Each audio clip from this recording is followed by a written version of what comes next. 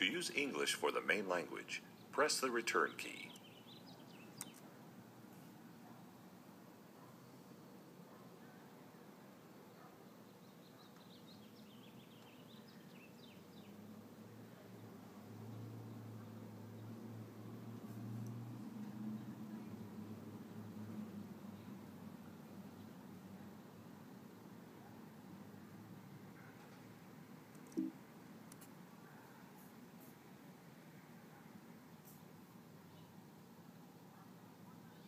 OS 10 include